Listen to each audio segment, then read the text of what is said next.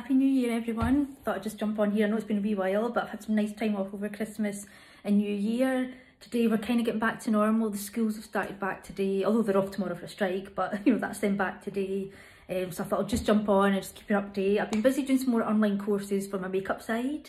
Um, I've been busy doing that, so I've not been doing too much at this side, but then I've been enjoying my time off. It's been such a busy year um, it's just been crazy. And the inquiries coming in at the moment the past couple of weeks. And I'm actually getting a bit confused with my dates. I keep thinking next year's 2025 so I need to try and keep on top of this. There's a few dates that have come in and I'm like 2025 and I, I just thought it was next year and it's not. So I just need to get that in my mind. Um, but the inquiries are just they're coming in thick and fast. So I'm trying to keep up with them.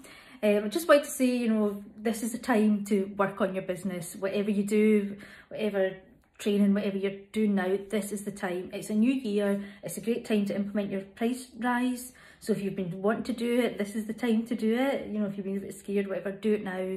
Work on your business, work on your social media, your website, you know, your marketing, your branding. This is the time. It's a new year. You know, set those goals, get those plans in place and work towards your goals and things like that. Just build your business.